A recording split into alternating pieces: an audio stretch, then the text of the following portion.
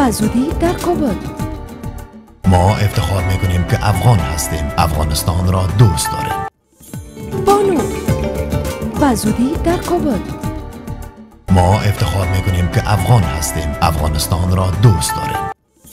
بانو و در کابل.